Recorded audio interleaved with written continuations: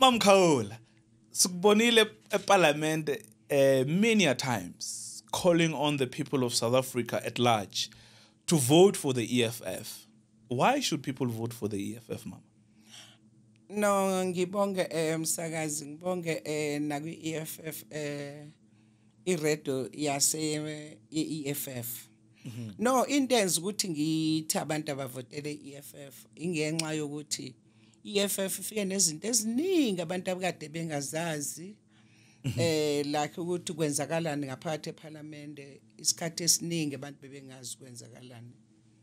Eh enye into engithandile ngeEFF ikwazi ukukhuluma ngento ibisele emuva ingaxoxwe eParliament izinto esasithe ngeyikhathi zama 80s if sihamba sihamba kufika lana sithi siyawina siyaphasa sesithola ukuthi siyakwazi ukuthatha ngo1994 kofanele sikhulume ngibheka abantu bakithi base South Africa abamnyama inhlala kahle yabo oqala nje okungaba umhlaba nanokuthi eh umhlaba wethu. umhlaba wethu nanokuthi nje sibheke nokuthi eh ibhedlela ikole imfundo ukuthi imfundo lena efundwayo ngabe iyona yini le eyayilwelwa eh iyouth yango 76 eh nokubheka ke nokuthi eh zonke idingo zabo bayazithola njengoba kwamanzi nezindlu eziright la bezohlala khona abantu ngokukhululeka. Eh hayi lendlela ukuthi mabehleli balobe empintshane endlini behujwa amaphoyisa yeah umislida abantu sabavotela iyefa No, Honourable Khawula. i-ANC vele amanzi engenawo Honourable Khawula. vote EFF Please Vote take your EFF. seat. vote EFF vote EFF Honorable Kaula, take your seat. ya abantu abavotela Honorable iyefa Kaula, please take your seat. ujwayele njalo ukuthi angiqulane neyihlala Honorable Kaula, take your seat now. Sinamathelo laphansi Take your seat. senizongenzela Honorable Kaula, I instruct you now to take your seat. vote EFF Mawulaphaya eParliament eh mamkhawule siyabona ukuthi hey ziyabuya kakhulu. Ziyakhala ziyakhala ziyakhala. Do you have a tough time? Did you ever have any tough time with the uh, different speakers uh, of parliament? We've seen you taking them on. Ayi kakhulu ikakhulukazi nje into esithola ukufika kwethu lapha ngo19 ngo2020 2014 ngo2014 yeah sibe nenkinga enkulu ukuthi sithe sifika nje lapha ya bona bacabanga ukuthi sina sizodlala njengabo bona abadlalayo eh sizothatha yonke lezi zinto besikhombisa abantu ukuthi eh bayayidinga besiyithatha kubantu sizoyithatha siyifaka phansi kwa ka carpet kanti thina no sizosebenza ngempela yingakho ke mangabe sithi siyakhuluma bethi point of order hlala phansi lonto kuyiphi rules Yeah. kanti thina la lento ama rules abo asihambisani nawo especially mina ke nje myself angifuna kuyazi ngoba Umama ama- omdala. yes ama ama rules abo Yeah. mawafunda walalela ama rules lawa ayebhalwe ngeapartheid ngoba mawubheka ayevuna bona ospeaker baqala angiyiboni mina umehluko okhona kulaba bakhona. Mina ngibona basasebenzisa le ndlela yencindezelo yeah yeah. Uyabo? Honorable Khawula kawuthule uvala umlomo. Awuvaleki yini lo mlomo wakho? Ngiyabonga. Honorable member. Uxolo sacela ukukhuluma. Honorable member what are you talking about? What are you raising on ah ngiyabonga. Uyabona nje indlela okhuluma ngayo kumina ngiwumama omdala. Ngicela uxolisa lento eyishoyo manje ngoba Honorable Honorable i- Khawula i-right yami lengishoyo la Honorable member ngicela uhlale phansi ngoba abantu abadala abazenzi lezi zinto ozenzayo. You must Ngicela uhlale control what phansi. you say to me now. Ngicela ngikuhlonipha kabi ma. Ngicela uhlale ka uhlale phansi ngoba lezi zinto ozenzayo indlela okhuluma ngayo la ngaphakathi endlini. Akusona izinto ezenziwa ngabantu abadala abangangawo ngicela uhlale phansi ngiyalalela but you must withdraw what you say now No, I'm not going to withdraw because I'm suggesting to you that your conduct is un- unparliamentary, is incorrect, and I've ruled on it. And you are not supposed to contest what I'm saying here. If you want to contest it, write it down, give it to your chief whip, and let's talk about it, please. no, no, rule 45 no, no. iyasho ukuthi oh, you are wrong I'm, I must take you I must call a bouncer to take you out now. Because you not respect to what I'm saying to you now. Do you think uti uh, lava the speakers they sometimes abuse their powers because when the EFF is in parliament uh, more often than not they would say no that is not a point of order. Please sit down. Do you think speakers sometimes they abuse their powers in parliament? Yebo ingakho ngithi mina bona basasebenzisa indlela ye-apartheid ngoba bona mabekubona ukuthi uza nento efanele wena e-right ezo ngoba whatever izinto esiyikhuluma lapha eParliament kusukela kupresident wethu kusuka ku- kwizinto esingayikhulumeli thina ngokuthi sizisuka kuthina.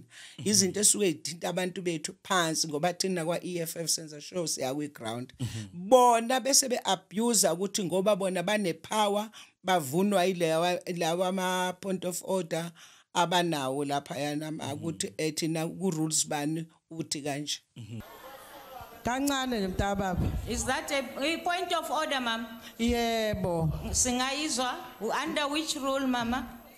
angikhuluma indaba zama-rule mina. Ngicela ungilalele nje ngiyaxolisa kuwena. Ngoba yona nto engasebenzi leyo. Ngiyabonga Eh, ngiyabonga. Honorable Ngiyabonga, Kaula, yebo. Bengizokuvumela. yebo Kodwa nangabe uyasukuma ukhuluma ngama point of order, kungana rule esekela lokho kufuna ukukusho. okay Hayi, kus- urule akusilethi. 56 Urule bani? 56 buka lapho ephepheni lakho Nginayo mama. yebo bengifuna ukubuza lana ukuthi ngempela sihlalo lana besiyazana ukuthi o- o- o- honorable bani akawutshela uJacob usukuthi ubani la ngoba uma- Ma'am- umashabela ukhuluma Ma'am ngoJacob Mkhawula, ngicela uhlale oyisigebengu phansi, hayi Ma'am lo enhlezi nimvikele Ngicela uhlale phansi mama Khawula. Ngokuqala irule 56 ayikhulumi ngaloko okukhulumayo. So iorder ayikho lapho mama Khawula. Ngiyachubeka baba. ekuqaleni u- u- ukhulume nge- nge- ngemhlaba ungikhumbuza le ngoma le ithi ini socialism socialism umhlaba wonke ezandleni zabantu. akunamuntu waphatha umhlaba ngayedwa. Clear, you are all kanti raising wena the same kuyangijabulisa nima ubona abantu bakini abamnyama benganawo umhlaba? Kuthini uma usuke e-airport babona abantu behleli kabuhlungu? Ukhombisa ukuthi nina nidayise ngezwe la ngabantu bakini. Ibuhlungu lento Honorable eniyenzayo members, and umhlaba sowuthatha ngenkani. honorable members, wasike eh, phakathi nathi baphuca omkhulu bethu kabuhlungu bayofakwa ematsheni. honorable member, ungadlali take your ngathi seat. wena. Stand up, South Africa. Make sure that South Africa, you are counted with me. Run, South Africa. Stand and make sure that our people understand that the need to be revolution in South Africa is guaranteed. That under the EFF, this country will be the better. EFF is a tobatengi. Indeed angeke umuntu eh afanele kuphetha umhlaba ayedwa. A very good morning uh, africa zonga africa and the world. My name is titus tungu and i bring you this week's installment of the eff podcast where i touch base with uh, mam kaula she is an anti-apartheid uh, activist and also an eff member of parliament. We talked to her about her journey in the struggle for land. Bamkhawula sanibonani and uh, sam ak- siyakamukela lapha eh EFF Winnie Madikizela Mandela House. Eh ngiyabingelela ngiyabonga nawe eh mhlonishwa. Thina sithi umhlonishwa nje uma ungaphambi kwethu. Okay. eh ukuthi umncane ungakanani umhlonishwa. And umuntu wesilisa ke uyahlonishwa ke kaZulu. Yeah. eh ngiyavuma ngiyanibingelela nami. So, eh asicale lapho ma.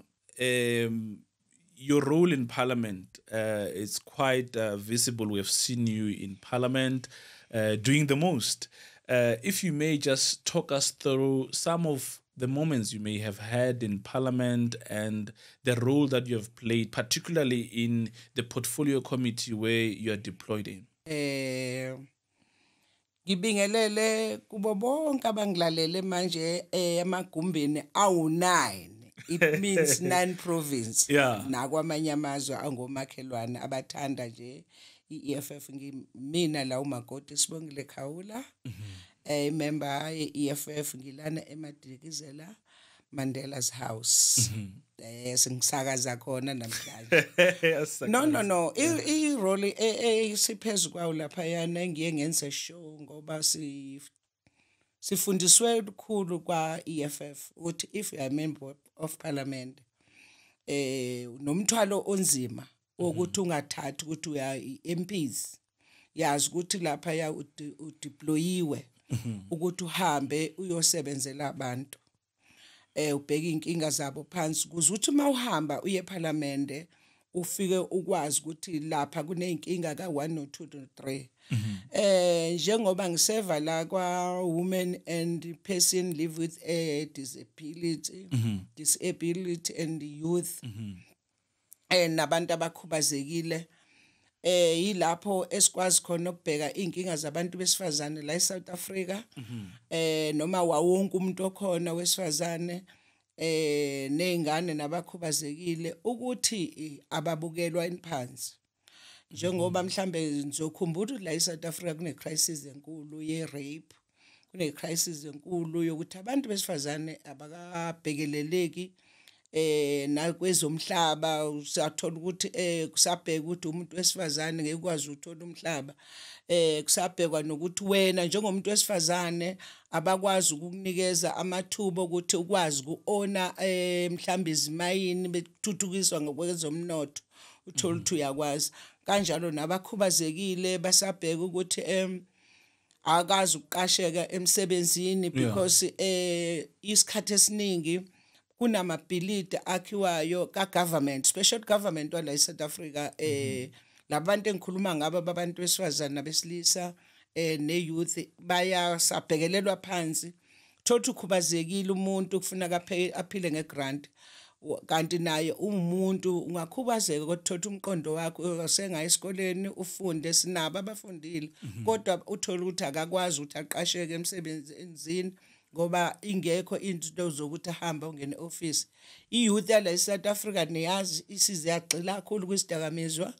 Eh ifundile yaqeda ezikoleni kodwa ihlelo niyababona odokotela bamasha everywhere bafuna imisebenzi abayitholi bothisha boma social eh social work eh lana ke thina as EFF senza sure ukuthi siyakuphusha lokhu ukuthi isidima noma isithunzi somuntu wesifazane asimfuni sifuna ukumbona ehlukumezeka ngabe ukocansi eh uthola ukuthi wena ngoba ushade naye. Sekufuneka wena wenze nomi kanjani ngoba ushadile. Senza sure futhi ukuthi bayenze sure ukuthi bahamba bawazi ama rights abo ukuthi bayakwazi ukuthi no. Nane lento ke yomhlaba siyabafuna ukubabona beona umhlaba.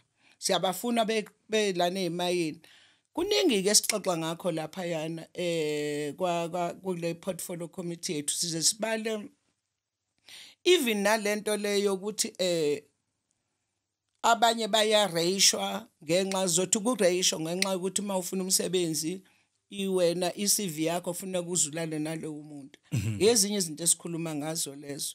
Eh kuningi nje sikhuluma ngakho okuthinta laba bantu ngoba mangibala nje ngibuyela back kulabo abakhubazekile.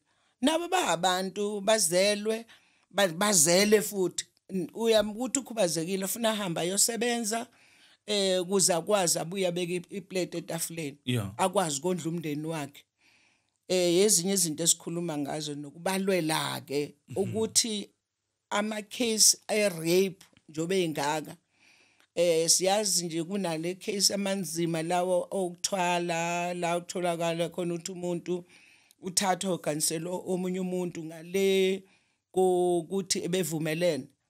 Eh siyalwa futhi nazo zonke lezo zinto lapha siyakhuluma nazo and senza sure ukuthi i-portfolio committee mayihambi yekubona. Senza sure ukuthi eh, i-portfolio committee zonke izinto esikhuluma ngazo ziyenzeka. Like lento yokuthwala ke nje eh balaleli bami kuhlukene kabili. Khona ukuthala lokhu kothando ukuthi lo muntu eh uhamba othatha intombazana kufana nokuthi kuyigrape uma mhlawumbe yokho amanzi emfuleni uyithathe uzoyenza umfazi komuntu ongazange evumelane naye. Yikhona esilwisana ngakho lokho eh la ko Eastern Cape kusenzeka. Eh siyakhula zalokho okunye ukuthwala ilokhu yeah. kwezinyanga lezi ezigcwele la eSouth Africa especially futhi igcwele kakhulu kuthina eKZN nasempumalanga. I'm sorry mention but ngoba into eParliament enhlezi ngikhuluma ngazo. La inyanga khona ezikwazi khona ukuthwala thatha abantu zibathembisa imali enkulu zibathwalise ukuthi bathathe ama icubu zabo. Bahambe bayokwenza ukuze bathole imali eningi. Izinto zonke esikhuluma ngazo lezo. And masibukile lapha eParliament um you you you always you are always on the side of uh, the poor. And I remember one time you were against the Tumamina campaign uh, labeling uh, President Ramaphosa and his cabal as uh, you know uh, sellouts in parliament.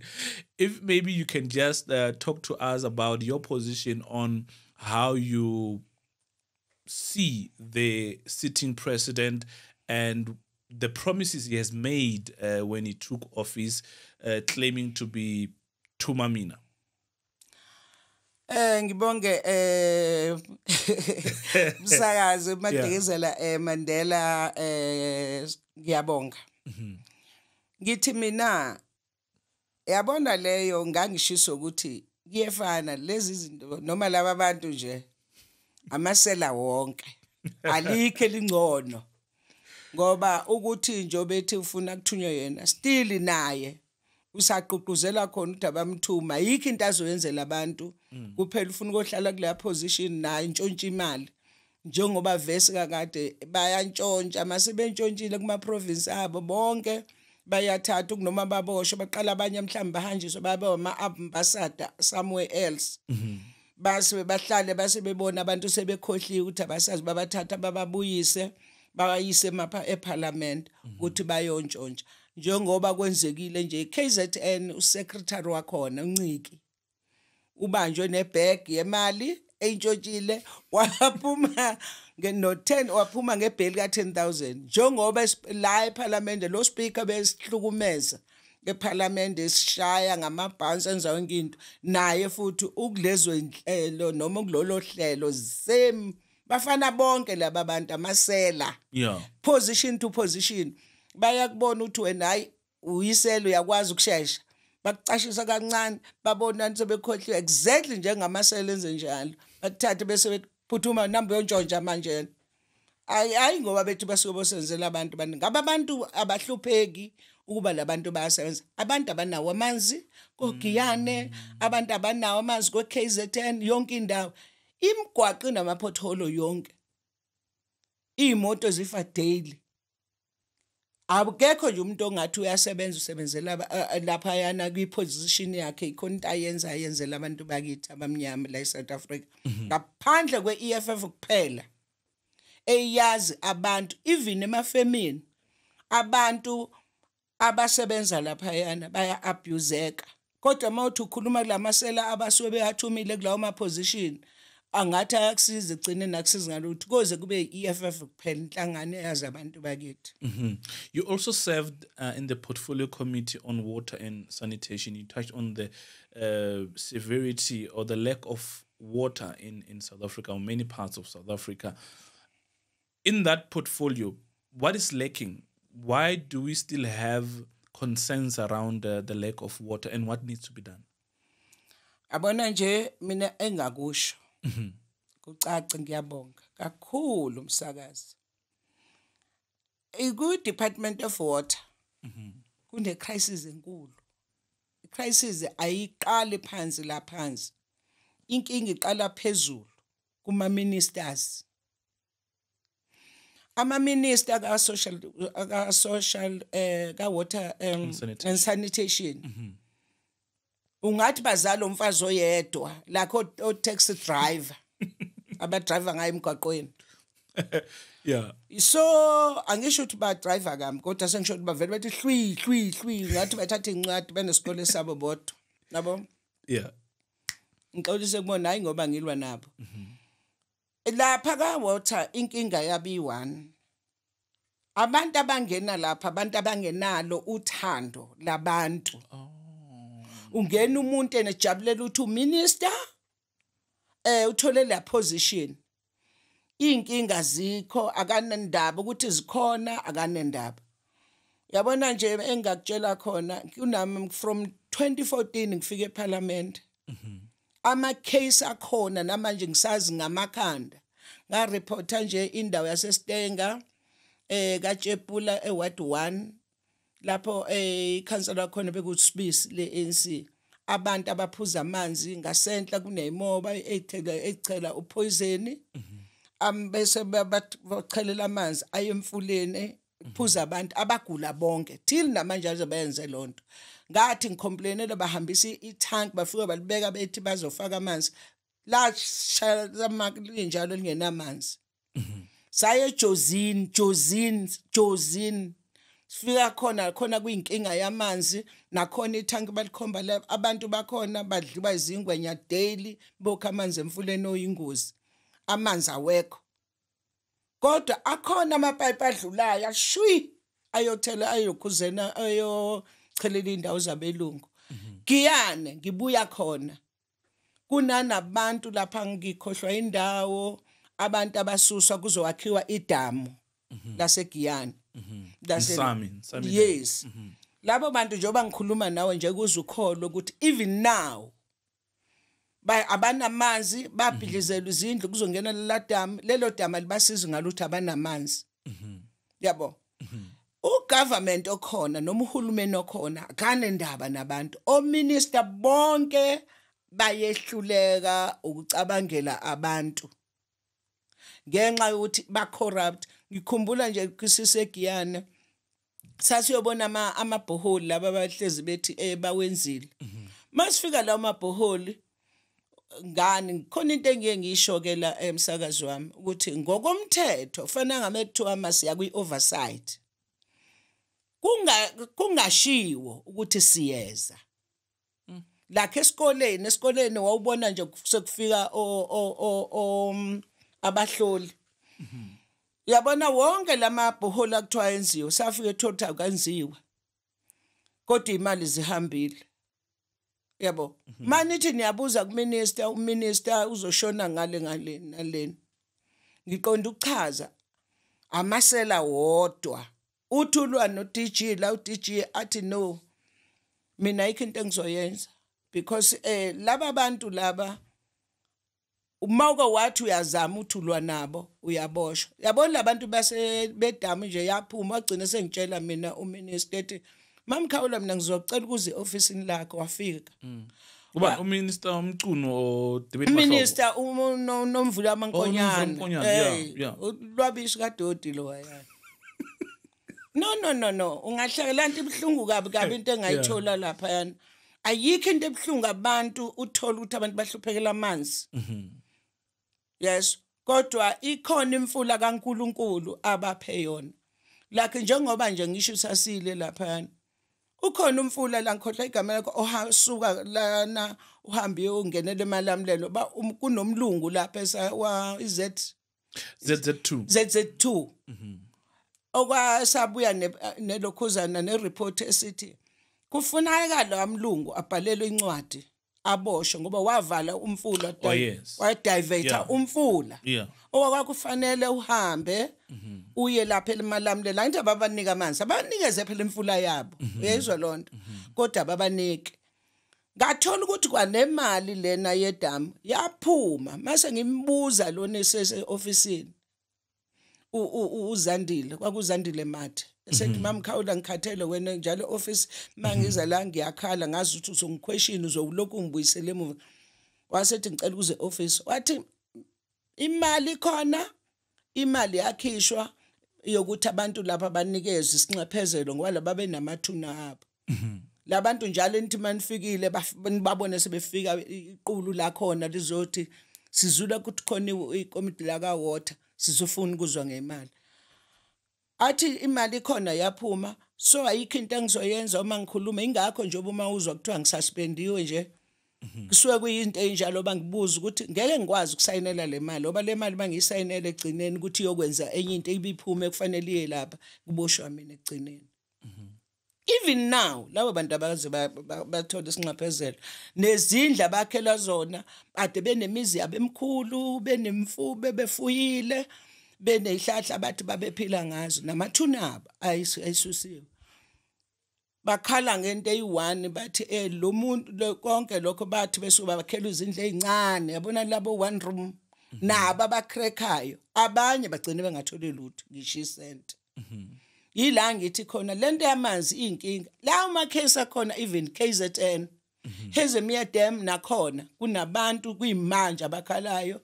La kunamadamu kwakunamathuna khona babefuya ile bephila khona bathathwa bahanjiswa lo hulumeni ufana nse nohulumeni weapartheid ingakho ngibuyela kule yanto yasekuqaleni ngithi excuse me lemthetho elapha eParliament imithetho yonke yengcindezelo eyenzwe apartheid. U94 kubona befika lapha bafika bahlala phansi bathatha yonke lezi zinto esasixoxe ngazo before. Mina ngiqale ukuzabalaza ngama-80s bayithatha zonke lezi zinto esasikhuluma ngazo ukuthi mase siphethe sokwenza ukuthi nokuthi. Bayithatha bayifaka undercover phansi ka- ka- ka- ka- kamata bangakhuluma ngazo. Thina ke siyisizelo uNkulunkulu ngoba uNkulunkulu uyabathanda abantu babo. Wasuka nje wasesakhela lento yesiphithiphithi sakhe lo bexabana no CIC bemlokhu bemshonisa le. Kanti indlela kaNkulunkulu usathi lalelani ngizonigila ngizonigila ngizonigila wavele wathi ephuma sathi no sihamba naye ke thina eParliament esifike sakwazi ukuthi si-implemente izinto esasikhuluma ngazo into esishodi ngazo ukuthi manje siphathe ukuze abantu bakithi eSouth Africa bakwazi ukuthi lezi zinto ezazikhulunywa abanye sebafa bese bayishiya ikhuluma siyazenza ngoba yonke le nto thina esasikhuluma ngayo thina azange eParliament bayazi kuyikhuluma ngayo. Lawo mhlaba yizo zonke izinto ezayikhulunywa. Kuthi eParliament masephethe sokwenza ukuthi nokuthi. But it never happened. azange yemeze kunoma kwenzeke kuhlushe kwamo imfula lana yonke lesikhule esigeza kuyona siwasha kuyona senza yonke into inamanzi. Bafike bakuvala nje ububona ngisho izikole bezikhona igcwele bayivala. Yabona nje ukufika kweEFF mina ngisasho namanje kwaba isibusiso from kuNkulunkulu. Eh ukuthi iBhayibheli angikholelwa kakhulu kulona ningixolela because eh ngiye ngiyibuza ukuthi why eBhayibhelini ingizwe lethu sibusa kangaka? Eh lingabhaliwe eBhayibhelini Yeah. uvula from A to Z angiboni lutho lapha kulona angisho ukuthi ba wrong abakholwa vele sikhuliswe ngalo nathi bengikhule ngisonto kodwa ke manje ngithi angisho nje ukuthi thina abantu abamnyama No, sinking in Yes, indeed. yes. You talked about the Guyani uh, uh, water project. Yes In fact, uh, the Nandoni is from yes nandoni Yes. hayi sukani madoda ukuthi hayi nenza iphutha uwabe nitshele nizonitshela nandoni Yes. nandoni dam Yes, Nandoni Dam. Yes, Yes. that's where the the project was meant to source water from, from Nandoni Dam to Nsami Dam. Now, you also roped in the issue of um, ZZ2 uh, blocking uh, the tributary rivers from Middle Letaba, now taking the all the water to his farms, depriving the people of Guyana access uh, to water. That time, over 3.5 billion has been wasted on that uh, particular project, and the EFF has been in the forefront. The EFF marched to the ZZ2 farm to, in fact, demand that the the blockage of water must be must be done away with. So the EFF has always been standing up for the people of Guyana. Hopefully, now beyond the 29th of May, when we take over government, the people of Guyana are surely going to receive water from an EFF uh, uh, government. But now, I want us to look at your activism. You were um, quite active during the apartheid days, uh, while you were also a member of the ANC. What were the struggles at the time? I understand land was one of the struggles that uh, the heroes and heroines, uh, the fallen heroes and heroines, uh, fought for. As someone who is still alive now, do you feel like the struggles for land or the struggle for land has been uh, abandoned by the ANC and perhaps that's why you have joined uh, the EFF Eh ngibonga msakazi Eh, uthe wani uTitus? Yes. Eh ngithi angibonge kwimadekezela eh Mandela House FM sibonge nje nokuthi sibe nomsakazi wethu eh esikwazi ukuthi sizokwazi ukukhuluma khona sikhululeke. Uyabona mangabe eh ukhuluma ngestruggle before 94 ukhuluma kamnandi. Eh thina njengabantu abamnyama besiphele besingavumeleki ukuthi sivote. Eh akukho la umuntu omnyama wayekuthiwa khona nawu ne right lokukhuluma. Eh like njengoba mhlambe uyuzwe ba CIC mayikhuluma ngendaba yama border yabona le nto yona ibe kumuntu ayifili kahle. Kodwa ngoba akekho umuntu obatshelayo ukuthi lento ekhulunywa uCIC iyenzekile lana. Uyabo? And lento ekhuluma uCIC iyayenza isithunzi somuntu omnyama. Ngoba thina lana nasikhula mina bengikamasho amafama ama- asesidenga kwamaphumulo erural. Mawusuka kwamaphumulo uya eThekwini Durban bekufuneka ube nepermit. Yabo? Incwadi esho ukuthi uya eThekwini yes? Uzohlala how many days? If kwenzeka watholakala wena ukuthi awunawo lo ncwadi buboshwa. Hayi uboshwa kokudlaliswa lokho sekukhona. Buboshwa. Inqwadi yini? I- idompas or just a permit? Ya sithi udomphas angiqali kona ngikwazi uqela kakhulu kudomphas abantu ababe nenkinga kakhulu kadomphas abantu besilisa. Ipermit imvume noma ngathi noma ngathi ipassport ngoba kwakuno nakhona kunomngcele. Ngeke usuke kamaphumulo uye eDurban ungenayo ipermit incwadi imvume passport eshoyo ukuthi yalapha uzohlala how many days? If wena bebona ukuthi how many kulo kulo- how- lezo nsuku sezi over bazokuthatha uzobona sekuzongqongqoza ama blackjack asezokhipha endlini ayikiseka ikamashu yoboshwa if wena bungenayo a uzohamba futhi uyoboshwa la uzobe sewufika wona amaphoyisa athi kunomuntu wakini ogogo wami khumbula nje ugogo wami ngelinye ilanga wayesiphathele indlubu angazi indlubu nthini nomadumbe. Eh suke emakhaya sijabula sithuze mina ekhaya yithi kamashu sihlala ku two room u one room uyikacela ngapha ikithi mina kithi sikhuleke vele sihlala ewe- e- e-welfare abo lapho eh owawuthola ukuthi bazofika amabhobho athi nanga umuntu ugogo wenu uboshiwe senifuna nomkhiphela ngani? Nge nge ngebail. Yeah. Abuyele emuva yes? Usuke eThekwini uyesiphingo kunde nakhona futhi kuyiboda ngikhuluma ngeboda icingo yo icingo lolu. Awukwazi ukudlula eThekwini ujombe isiphingo? Ingekho leyanto yabo mawutholakala usuke eqengale uyaboshwa futhi nakhona. Yeah. and and izinto esasizilwela ziningi. Ngeke ade ngitshela abanye nje bade ngiviza ade njengoba ngihambela ama hostel bengisemadala hostel lana e Ward 15 em e West Rand njengoba ngideploye la. Ngifica ngcolile khona ngithi why ngapha lokushini ku clean why ngapha ngingcolile nani ngithi niyakhumbula yini nange ngoba ngithe mangifika khona Sunday ngavuka Monday.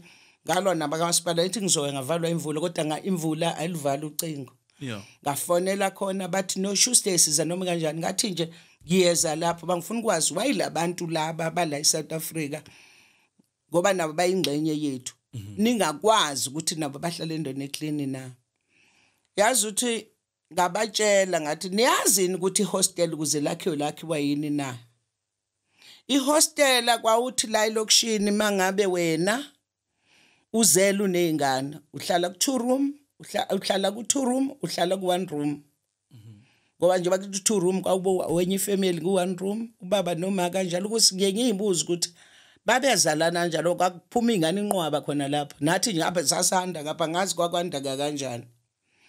uNkulunkulu waziyoke ngikutshela ukuthi ngeke uzukholwe ukuthi ngiyabatshela ukuthi ihostela lawa wabonayo akhiwe apartheid ngoba wena ungane yakho emasina 15 years fanele iphume la ihostel iyohlala lapha ihambe yosebenza eyentombazana kuthiwa ihambe eyosebenza kamlungu.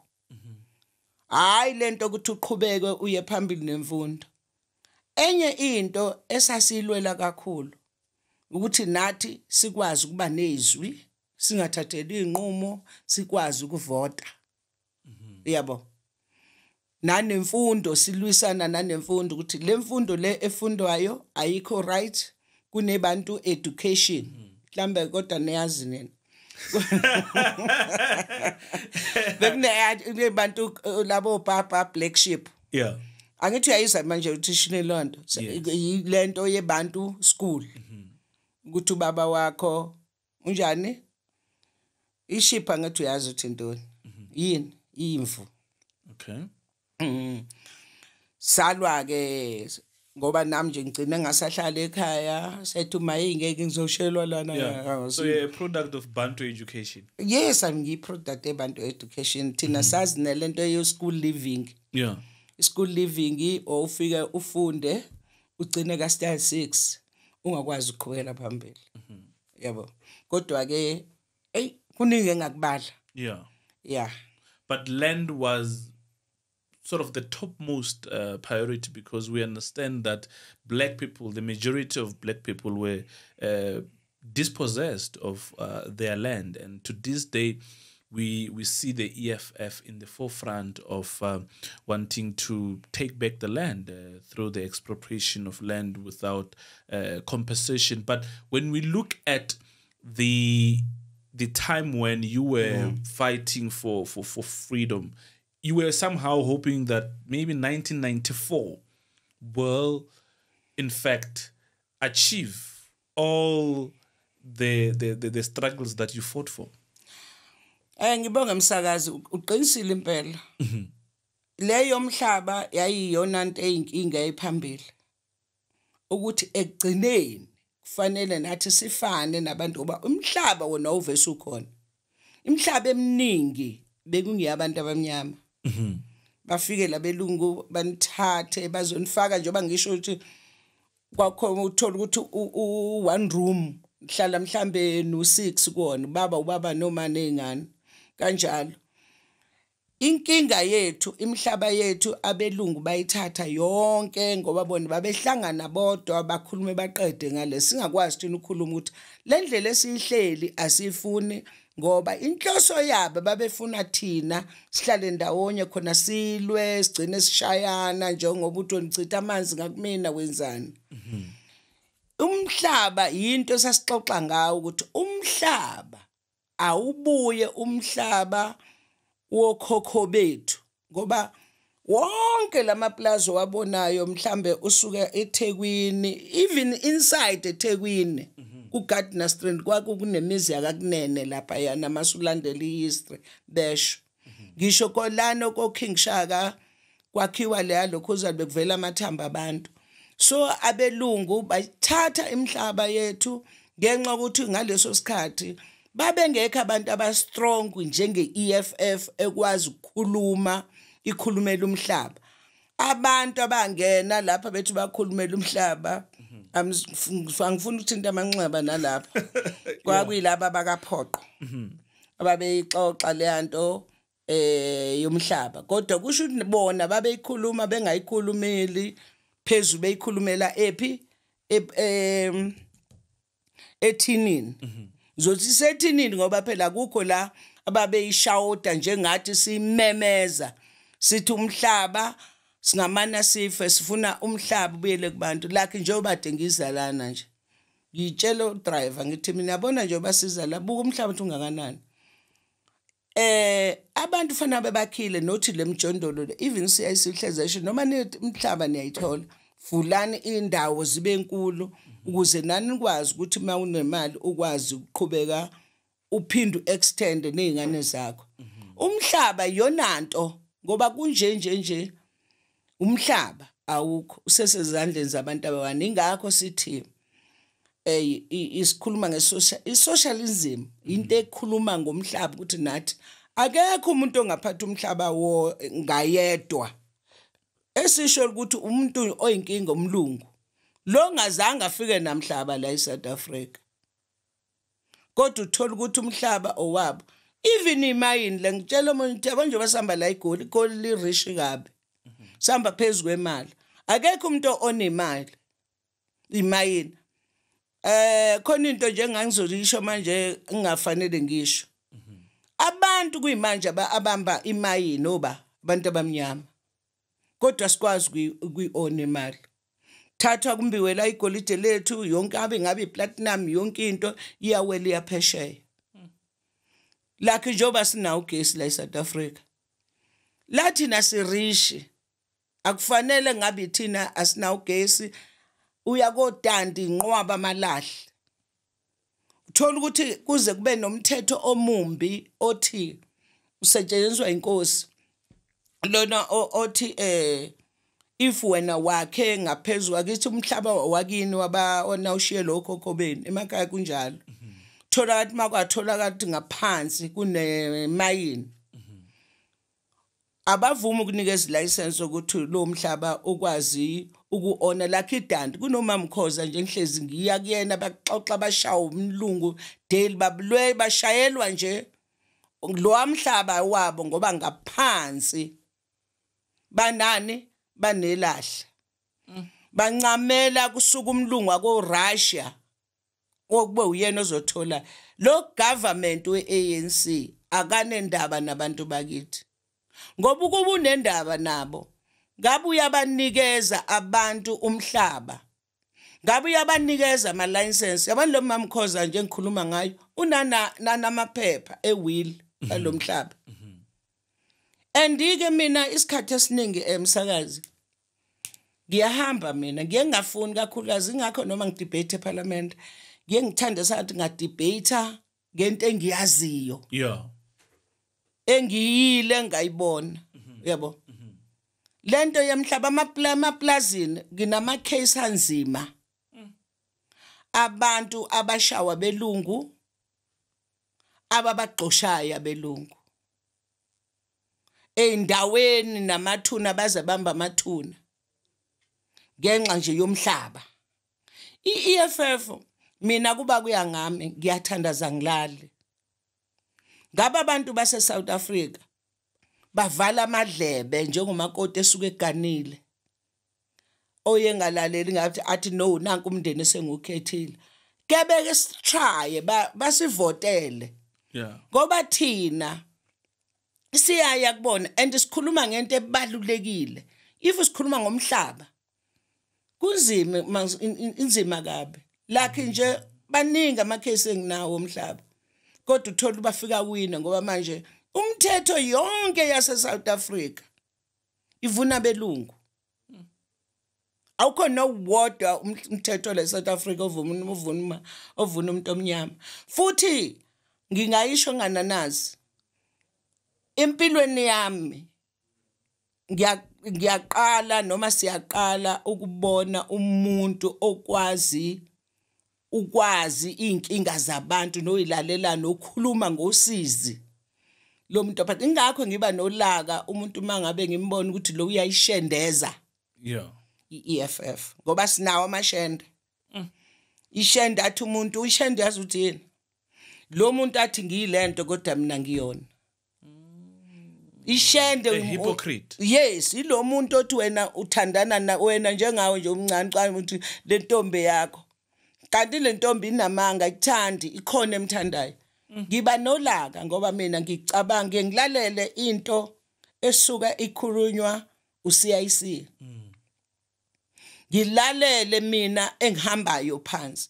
Ka EFF ngiyathandaza namanje ukuthi abantu abeye beyeke ukuthi mabebona lo umuntu ezothi kubona ngizokushela manje ngicela uzovotela lenhlangano bese behamba bacabanga ukuthi baphumaphi. Kambe laba bantu asebethi bazoba bavotela babasiza ngani? Babasize ngani before? Kambe lezi zinto ezikhulunywa i-EFF now bake bayizwa nikhulunywa na? Ingakho ngithi mina English angifuni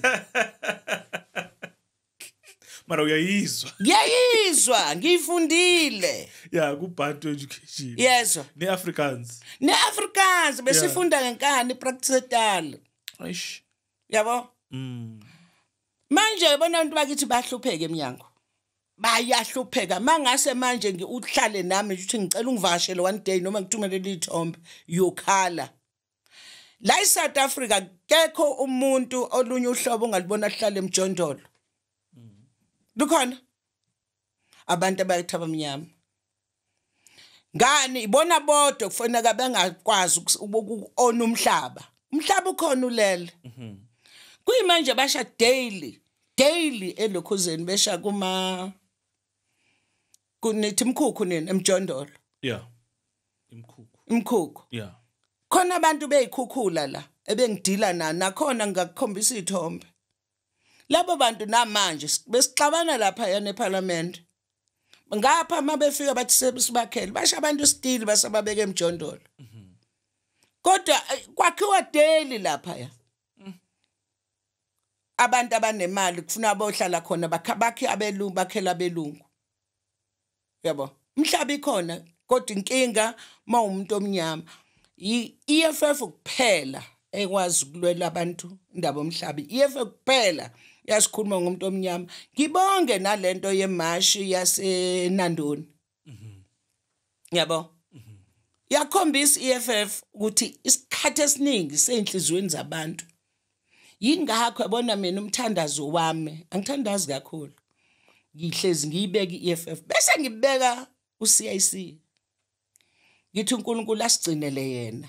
Ngoba yabona mayikhuluma ngize ngingangiyibuza ukuthi uyisangoma? Uyisikhathi sini? Into ulwamuntu uJava usinikile wena kodwa abantu ababoni. Yingakho ke ngithi mina ngiyabonga mina ufika kwe-EFF yabo? The EFF is such a young and fast growing um, economic emancipation movement led by the CIC Julius Malema. Wena mama, umuntu omdala. Why are you so convinced and believe in the young leadership and a movement like the EFF which is now 11 years old. I mean, you were part of the ANC, and now we are gearing for the general elections uh, in May, the 29th.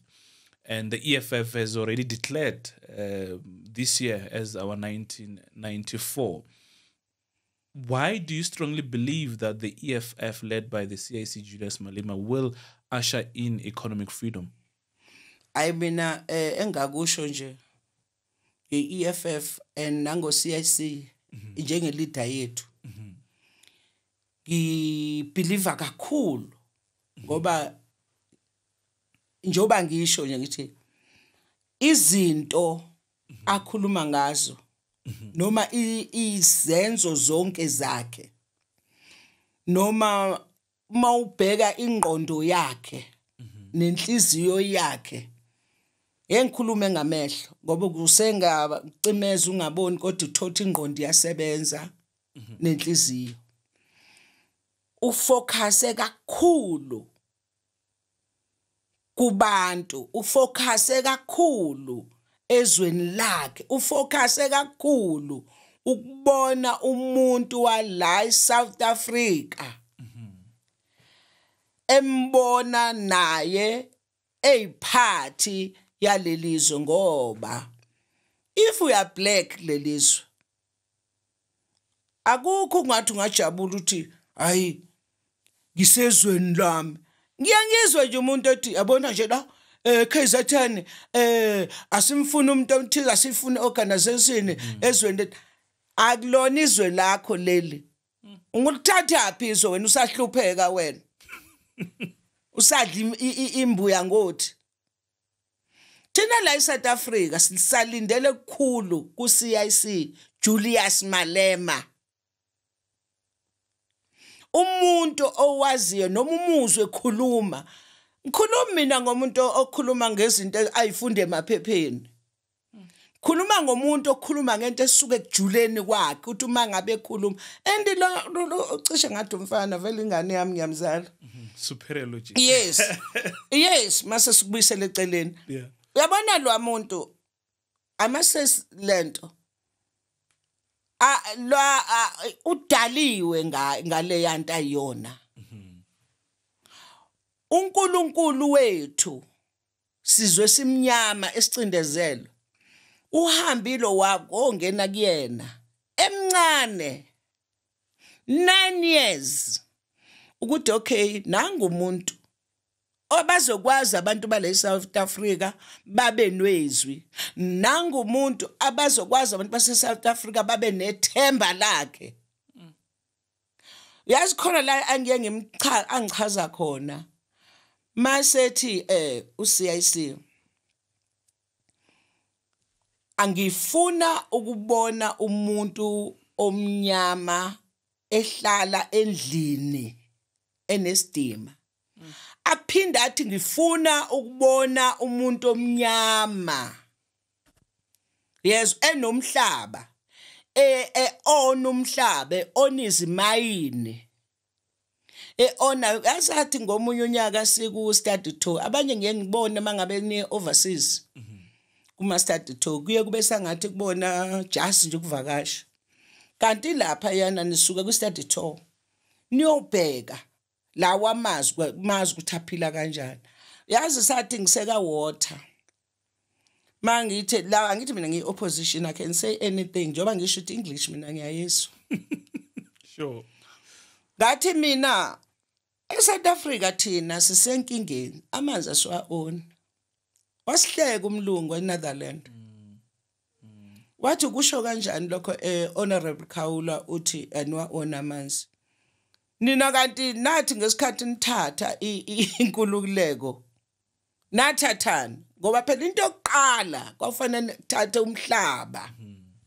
The natural resource. nakho konke oku nakho kuzimbiwa kanti nina njengoba nikhululekile athi yazi le mina ngazi ngizoyiphendula nthini angithi nina eSouth Africa eh ngo94 nathatha. Yini kanti yathathwa manje umhlaba niwoni ngithi yes so on sa onwa izalukwazi endala khona la ngangashisa khona athi no no no no no. Sikhathele la singazi lamanzi onobani ngithi sasise sasikhona lana kwi oversight lana sasesidibingi la sathola khona ukuthi amanzi asaonwa amabhuna kudala. Amanzi amabhuna abelungu ba- babelene umhlaba yonke lento kusese ezandleni zabo. Sathi siyabacela kwafika izalukwazi ezigugile. Sayihlaba ngombuzo ayihlaba ngombuzo. Sathi masibisiya kwi-break sesifuna ibuye seyizophendula seyibalekile. Yabo? Ngabuya ngaza la ngathi niyabonani yini ukuthi siyinhlekisa kumazwe angaphandle na? Fana nalanga lento ungasebenzi kwabantu. i-EFF ikhuluma into ebalekile le yamathenda. Amathenda iwona aqeda imisebenzi. Umsebenzi khona mningi nge-english nithi plenty. Yes. Ngesizulu sina sithi mningi. Because amathenda abana yonke into esho i-EFF mangabe nje wazi wena ukuthi uzonzani la i- yiqiniso. Nqwabi imisebenzi. Buka nje kukhulunywa ngama security la. Esithi lana nje i- i- ilokhuzana kamasipala la.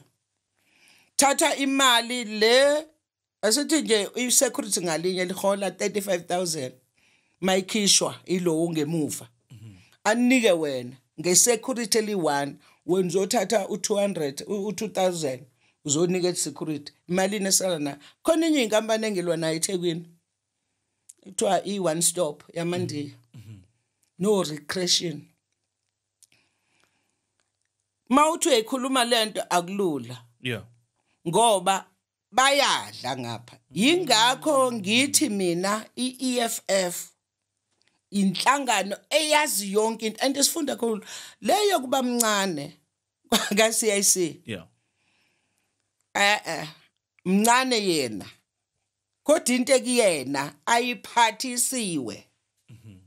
Ingaphezulu kwami.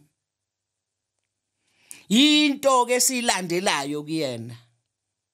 Yingakho wangesikhathi kusam kusanele ziphithiphithi esehliswe nyuka emajele kanjalo.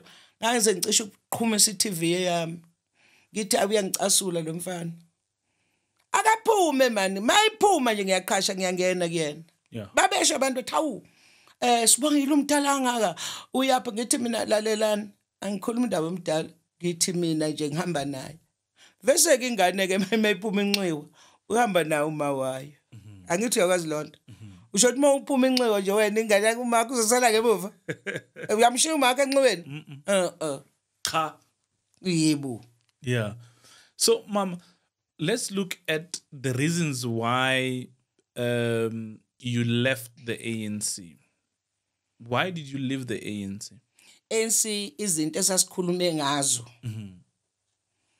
Eh izinto ezasikhulume ngazo sasihlangana oba sasihlangana sihamba masenza angithi nje thina ka ANC ngalezwe khathi sasana sisasebenza umshosha phansi.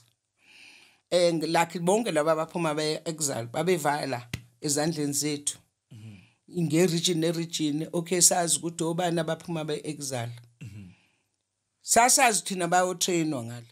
Bayotrainelwa ukubuya kuzoliwa nohulumeni apartheid. Sasingazi bayotrainela ukubuya bazontshontsha ngoba nje into ecacayo kubona babe thamba bayotrainelwa ukubuya bazontshontsha akukho kunye nje ababuye nakho nje ubabona nje babetrainelwa ama position kanjalo.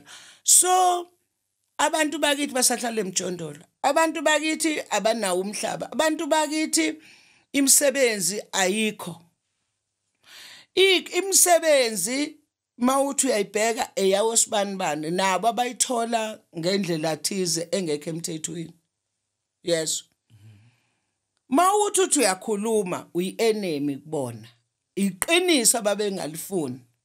Nalento yokubheka ke wena ukuthi eh okay lo muntu lo akahambi nathi uhamba nalo nalaba kanti mina inhloso yami ngangijoin istruggle kabhlungu ngoba silwela ukubona umuntu wakithi eSouth Africa ethutuka yingakho ke ngathi mangabe sephuma nje uCIC ngathi no ngibelethe mfana ngibelethe CIC ngihamba nawo la uwakhona ngiyawa mongena emfuleni ngena nawe Yeah. yes even now Through and through. ngisasho CIC Julius Malema. Ngisemhlane wakhe. Angikhathali ngamani uthini ukulume noma yini ngoba into engithandayo angithandi yena. Ngithanda into ayiphathisiwe. Okwesibili umuntu abona sithi wena ubekiwe? Ngabe umfundisi ngabe intoni? Akusifuni akubhekwa ukuthi ungakanani. Sibheka thina into ekuwena. And ngitrainwe kanjalo ke mina. How old are you, Mama? hayi bo awazi iminyaka yomuntu ethi hey yaphapha ke manje wena yazi Furukiyazi ukuthi why at your age are you still active? Uh, I'm 15 politi- years 15 years. yes So I'm older than you. ah 15 years hey Furukiyazi ukuthi mom, why when uh, at your age do you still are, are you still pursuing uh, politics? Uh, what do you want to achieve for the people of South Africa and Africa at large? abona nje mina? Yebo eqinisweni sengikhulile angimdala. Ukudla okugugayo. Nengubo egugayo mina ngikuke ngikhulile.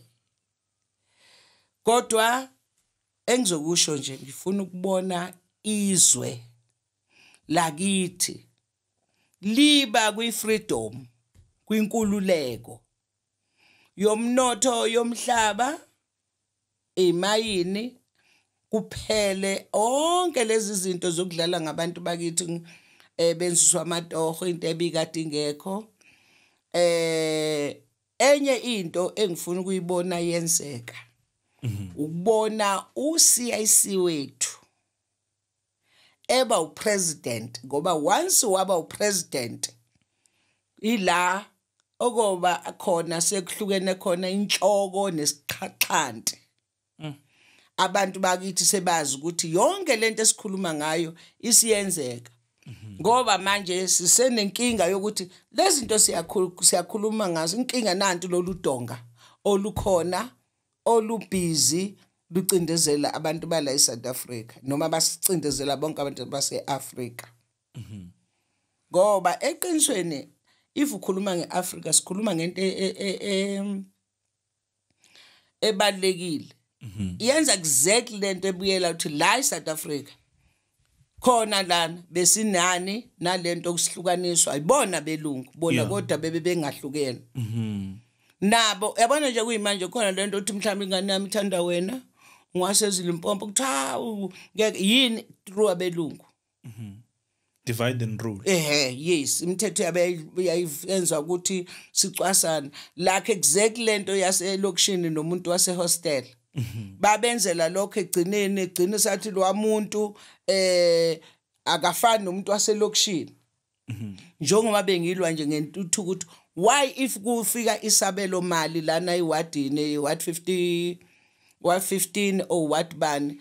Kodwa i- i- ithola ihostel sayihlalele njengoba linjalo ayifani yini? Kufuneka laba ngapha bayibona bengcono laba bayibona ukuthi banjani bayabheda. I-apartheid la once waphatha nje CIC izophela ngoba uCIC ufuna ukuyibona umuntu omnyama wala eSouth Africa. Ekwazi ukuachieve izinto azinike uNkulunkulu ngoba uNkulunkulu mayekudala wasinikeza umhlaba wethu. Onamanzi intaba ezigelezayo njengoba ngikhuluma nje. Umhlaba wethu okhonolele obuhlaza. Kodwa manje khona umuntu nje ovela waqhamuka wandiza njengenyoni qathatha sethi indawo yami yonke lena. Yeah. Yabo nina senihlela eceleni. Yabo anisakwazi ukudla izinto zene nephi wonkulunkulu mina ingakho nginisasho namanje. EFF EFF isibusiso kuNkulunkulu isibusiso asilethele sona la. Ngumntwana omncane lo okuthiwa uCIC Mom, you talked much about uh, Kwamash. Where were you actually born and how can you describe your upbringing? ngiyabonga bonga. Bonga, eh Titus. Gama lamakhehla uthatha igama lamakhehla Igama lamakhehla. awu Titus igama lamakhehla lasifunda no Titus esikoleni. No no no. Eh ngibonga umsakazi wami omuhle we-EFF eh imadikizela Mandela. Eh la la la ke eh mina ngokuzalwa ngingwakamaphumulo ngazalelwa kwamaphumulo. Okay. eh clinic emthandeni emini ilanga libalela ingakho ngihlaniphile nje. Langa libalele. eh emini ngo12 emini. Okay. eh ngesikhathi ukhokho wami nje umeseni kuthiwa wayehamba emhlabeni mina ngangifika emhlabeni. Eh ngakhula ngakhulela khona. These age mhlambe andozothi 9 noma ngaphansi ka 7 eh kwanalento yoku yokushona kwabazali. Kagcina se sekusele uma yedwa naye futhi wagula wezwathathwa ayobeka ka-anti ulamana nobaba kuthola ukuthi akuvaleka umuzi ungasekho umuntu ekhaya. Kwakuney'nkinga nje iy'nkinga engayibala yabo le- ngasuka lapho sathathwa-ke thina sibancane age mhlambe nje seven or eight. Yeah. ngoba ngikhumbula ubaba wami nje mina ngimazi ongizalayo. Em ngisho aqhamule ke ngimkhombe ngikhumbula nje ukuthi eh kuthiwa sasithi kushoniwe ekhaya ngithe emakhaya benge bingekho lento yaqala ukuthi uma kushoniwe yinini nipheke ukudla ninikeze abantu. Abantu bendaba beletha ukudla okuvuthiwe kuhlaza kuthiwa sathi simazidlala sithi eh kodwa kuzophinda kushonwe nini siphinde sidle yabo? Yeah. yisi Sure, yes asibancane yisi kusho ukuthi sathathwa ke mina sibathathu. Udadewethu omunye siwashona eh rest in peace dadewethu wamagcino sahamba sawubekwa kadadobo kamaka kwamashu. Sakhuliswa khona. Eyi kokulokho ke kunzima ngoba ngifikisela inyembezi angikwazi ukukhuluma ngazo impilo nje sasiyiphila. Eh eyi angazi. Ngike ngayithandi ukufika kuleyo kodwa bese ngibonga uNkulunkulu ukuthi kwangisiza indlela umuntu akhula ngawo ngoba ngaba nginawo umuzi ngaba nginayo ikusasa mhlawumbe le-EFF ngaba ngikho kuyona. Yabo kodwa kwangisiza. Mm. kakhula kanjalo ke ngazihamba ke sayijoinela istrike. Eh eish, ukuthi lento inzima. Bekunzima. uyabona mangabe ezinye ingane fanele iqhubeke nokufunda phumeze esikoleni. Nina nezu anezukuya esikoleni. Uyingane nina nazi nangu baba uyabuya ubuya emsebenzini uyaqhamuka. Mayiqhamuka lo baba nigijime ngamajubane nazi lutho nani. Nithi no nomjabulela ajombe zakhe njalo njalo. Eyi kuningi engaku- engakusho. Engicela siyeke nje lo phathi Yeah. Ngibonga uNkulunkulu ekugcineni. Khulile ngizele nginabazukulu. Ngibonge no CIC ngibonge nje nepolitiki yonke. Yeah. ngoba iyakwazi ukungikhipha entweni mhlawumbe kuba kwakuyilesa sikhathi samaphara. Mhlawumbe ngami ngagcina nami ngiyiphara. Mm, ingakho ngiye ngithi nje angazi uCIC ngamenzelani. Ingakho ngathi ngiyazwela ukuthanda abantu. Mina nje kwamanga ngasufike ngikhule kunabantu nje ingane ngiyakwazi ngifuna ukubona umuntu ohluphekayo. Ngenxa ukuthi ngiyalwazi usizi.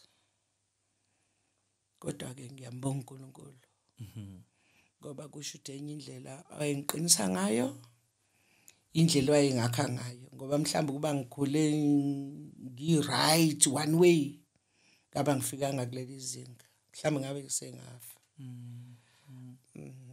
But we're grateful that you survive uh, to this day, and we have uh, someone who is radical and committed to the cause of uh, alleviating the lives of the poor and uh, the marginalized. And now we are facing the most crucial uh, elections of our time, where both the old and the young need change.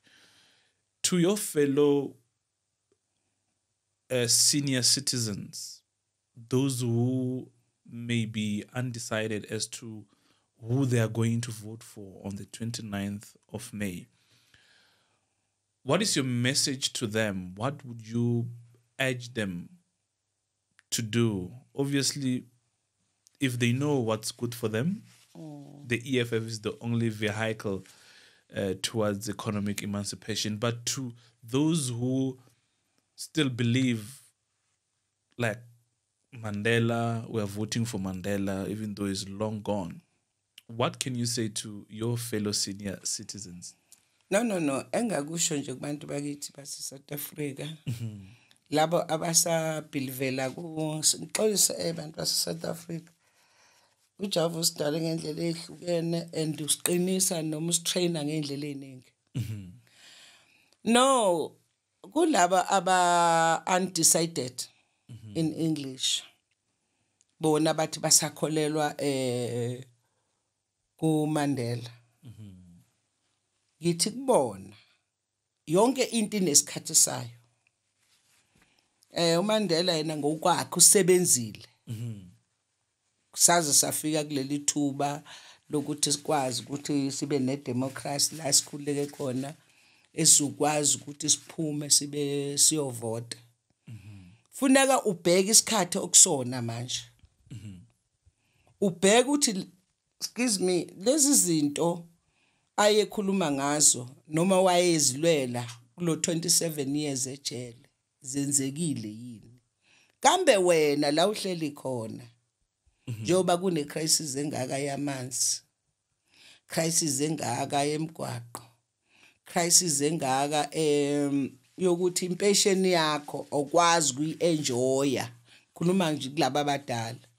Because ingane yakhe ayisebenzi wenze ngayo yonke indlela ukuthi ingane yakhe ihambe iyofunda esikoleni thina abantu besifazane uNkulunkulu wasipha ukuthi ikhanda libe li1 kodwa ukwazi ukuthwala abantu aba more than 20 yabo. Ingakho kuthiwa umuntu wesifazane namabele abantu ukwazi ungcolisa umuntu onongale. Ngithi kubona isikhathi manje sokuthi eh babheke inhlangano ekwazi ukukhuluma ngabantu nekwazi ukufinyelela kubantu eh bala eSouth Africa ngoba simnikezile naye ithuba um umnomzana Mandela. And wasivulela futhi. Manje zonke lezi zinto kwayena lapha la ekhala khona uyakhala. Uyabona emhlabeni kwenzakalani. Yeah. mina nje ngithi kubona abahambe bovotela iFF ngoba uye kanye lona othe phuma mntanami la hambe uyomela abantu. Ngoba labantu behlulekile ukwenza lokhu okufanele engangikudonsela ejele. Kwayena la ikhona akekho happy even nothambo la bekhona bekho happy Yeah. ingakho kukhona lengoma ethi eh ifuthambo engafika manje ngalila ife sibona sinje bona laba amasela. eh eh eh eh, eh eh eh corruption ANC corruption acula zaqhosha dance akazi lela gama uthi likhuluma ngabo ukuthi uthambo yonke into ayilwela yenzikanga angalila. Mina ke ngithi kulabantu abadala bayahlupheka abanawo ama-bridge abanye nje bawela kabuhlungu hlezi ngikhuluma ngabo beyohola impesheni bewela umfula. Eh kabuhlungu befakwe emadramini beweliswa bonke bo- bohola ngaphesheya babuye bangizongena emfuleni. Eh befakwe emgqonyeni levalwayo intanti imqomo nabo bo bo- bayo baye emakhaya. Ake befundeke manje ukuthi abavotele nayi EFF ekwazi inkinga zonke. Thina as EFF khona to khona ayikho inkinga esingayazi ebabhekene nayo. Siyabacela nje ngesihle Yeah. hayi kambe ke beshintshe basibone ke ukuthi mabe sinika leli voti sizokwenzani just nje kungcono kabe sinike nje lo 29 lo 5 years nje siyawucela kubona ngesihle Yes. Yes. ke bevotela iEFF mm-hmm.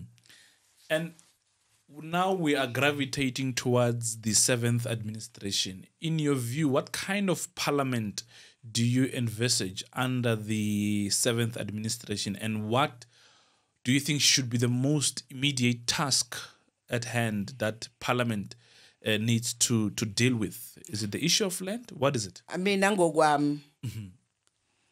eParliament nje kuba bekuya ngami masibuya nje noma ngazi ke phela noma ngiyabuyela noma ngizobuyela uNkulunkulu waziyo. Mm-hmm. Ngoba yonke into yenziwe yena mm-hmm. Eh naba abantu mabefuna sibuyele abambe bovota bafethu into yokuqala nje ufuna ikhulunywa ileye leyo umdlalo. Mina ngizothi umdlalo ngoba ba- laba eh bayikhuluma if befuna abantu bayovota. Le land question section 25 yona into ofuna silwe nayo. First item. first item into yokuqala ngoba kuyimanje ziwesiwe imali sambe sihambile sezungeza akukho la singarounda kangakhona senza lento yomhlaba.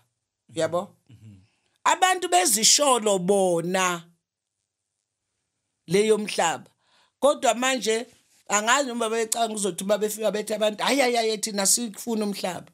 Abanye nje babeyisho bekhalo siyafuna umhlaba amabhunu asibulala ayasihlukumeza emda- emhlabeni yokhokho bethu. Siyawufuna umhlaba. Nathi silima hayi lo salimela amabhunu. Bese kuba yile eh yelokhuzana ye- yomnotho yokuyizimbiwa. Siyazifuna bona nje mina ngokwami into efuna ukukhulunywa ngayo umhlaba. Abantu bakithi bahlala kabuhlungu bamuka nem- nemjikhuku bayasha kungabe indaba zalutho. Umuntu omnyama oshayo la eSouth Africa umuntu omnyama ongenawo amanzi amanzi angithi uyazaphuma emhlabeni abelungu bayathathile amanzi. Yabo? Secondly okunye yile yemayini. Asibona abantu beona imayini. Abelungu bona ke bebuye sibabona nabo bezofesa la emayini bezofuna umsebenzi. Okunye amabhenki. Amabhenki lawa eh nawo akabuye angene la under government. Yabo? Hayi lento uthothi ibhenki li-onwa lena kobani? Njengona olokhuza no-netbank ba-onwaphi netherland angithi? Ay, iwayi thina lana singekho into esiyi-onayo la. Konke izinto zethu zi-onwa ngaphandle. Yayizwa loo nto? Kuningi kuningi kuningi. Kodwa nje okokuqala nje kube umhlaba Okay. yeso Yeah. No. ngiyajabula-ke wanamanjena-ke nospeaker-ke laba besihlukumeza ephalamende hayi hayi hayi unkulunkulu we-EFF yasishayela bona Sure. eh Siyabonga, ma'am. And also, um, Parliament is in the Western Cape, where the DA feels so entitled that the DA belongs, I mean, the Western Cape rather, belongs to uh, only the DA. Uh, most recently, the leader of the DA, John Steenhuisen, was in fact questioning the presence of other political parties in the Western Cape that are vying for, for power in that part of the, the country. What do you make of uh, the DA? Do you think the DA still deserve to be part of South Africa with its racist uh, approach? i-DA ingaba kanjani eSouth Africa ngoba yona ivele ukuthi khombisa ngokusobala ukuthi ayibafuna abantu abamnyama. Ingakho even ubona nje even eh mawubuka ngisho eh iParliament uqobo kwalo ngisho kwakhiwa. Bafuna libe kubona lapha ya ukuze bakwazi ukuli-ona behlula nokuthi sizana i-DA isikhathi esiningi kumele abelungu wena muntu omnyama isikhathi esiningi ifuna wena uzoba yini? Udobo. Ingakho ikubeke noma wokunake mababoka bemasha ibabeka babe front line ukuze bakwazi ukuthi bathole amavoti ngabantu abamnyama. i-DA ngokomthetho la eSouth Africa fana ngabe ngemuva. Ukuthi angazi kwenza kanjani eh kuthi angisazi liphi lelizwe sasivakashe kulona. Sathi khona eNetherlands esavakashe savaka esaya sayobona iParliament lakhona. Parliament lakhona if wena ungayena wakhona kwazi uba uba khona kuyabuka nje manje sekugcwala ngisho mashayini nalana kusho ukuthi ukukhulu liyanyenyela liyeza. Yingakho ke iDA ibona nje iDA imele lezi ndawo njengo Cape Town. Njengoba ubona ngokwabo befisa ngokwabo ngoba zothi ifiso into engeke kuyenzeke siseko nesaphila nje ubona kubovu everywhere. Befuna ukuthi eh iCape Town ibe yodwa eceleni izimele. Kusho ukuthi kunjengoba sina 9 province ngokwabo bafuna bona bayikhiphe kulo kule South Africa. Yingakho nje isikhathi esiningi ngiye ngijabulele ukuthi leli culo nje leli le ianthem ukuthi ngokwabo bafuna ukuyifaka kulona kodwa bafuni bona ungene eSouth Africa kodwa bafuna nabo bangene. Bangena kanjani entweni bona bevele be out kwaphela abelungu laba abasifuni. Uyathanda uthanda umlungu mayithi uyakuthanda uyazi ukuthi uyakupretend. Asisho ukuthi asibafuni kwi-EFF kodwa if bezoza la bayeke kuyibona bengcono bezofika lana singene la singene babona sithi ngena ngaphansi kwalento nje singene sonke kanye kanye. Yeah hayi yena uzothi hayi mina ngeke ngizojamba ngaphezulu. Mamkhawula siyabonga kakhulu eh, isikhathi sakho lapha ku EFF eh, podcast uh, we really appreciate uh, your wisdom and we're drinking from your cup. Uh, we really appreciate uh, your time and I think that- uncenga funa uncenga ngithi bantu base South Africa ngiyabonga eh ngihleli lana eh, emsakazweni ngiyasakaza eh, amagumba amane omhlaba wonke. Yeah Eh njoba ngilana nje nihleli noma Mkhawula sibongile makoti Khawula eh, intokazi yale KZN yeah. Eh emele i9 province kwi province yonke ngithi. Yeah. Ngomhla ka29 May asiphumeni ngobuningi bethu. Siyovotela iEFF yeah. Yona inhlangano eyi1 eyazi idingo zabantu yona inhlangano eyi1 eyaziyo umuntu wala eSouth Africa ukuthi udingani yona inhlangano eyazi kuyimanje niyazi baningi abazosho ade beboshiwe omunye wayidonsa life sentence ngokwebala ngoba lisasebenza le South Africa imithetho. Nge EFF ungaphandle manje ngikhuluma ngomthandeni. Shange ungaphandle. Eh noma ungangena lapha ku YouTube yami uzobona ngelinye ilanga nje niyobontshela abantu ukuthi kuyasetshenzwa EFF because whatever sekwenzayo because of EFF iEFF ayizwani nemember ezojabulela ukuthi member of parliament funa umuntu osebenzayo. Siyacampaigna kodwa siyabheka futhi ukuthi abantu bethu banjani thina asifuni ukuthi sidlale ngamavoti ethu. Ithina inhlangano amanzi kuyimanje niyabona nje ko Thekwini lapha konanda kugijima Yeah. amatruck ngenza sure ngile goli ngile Pretoria ukuthi abantu bayathola amanzi njoba lemgodoyi nje ivale i- amanzi komathephini ngiyabonga. Viva EFF viva.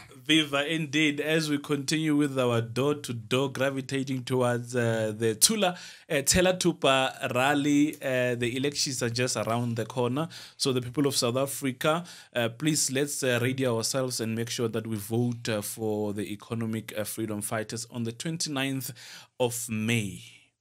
So today we're signing out with uh, Winnie Mandela from EFF uh, Jazz Hour Volume 4. If you want to request a song that we're going to sign out with uh, on Friday next week, uh, please on the comment section just uh, comment there and tell us which song you would like us to sign out with uh, next week, Friday. Do enjoy this song. We have come to the end of today's show. My name is Titus Tungo. Until we meet again, Uja Ikuyengeta.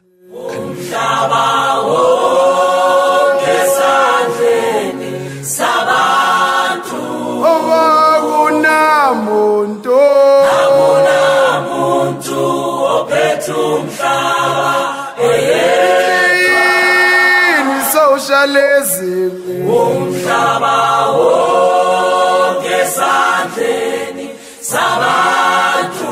Obakunamuntu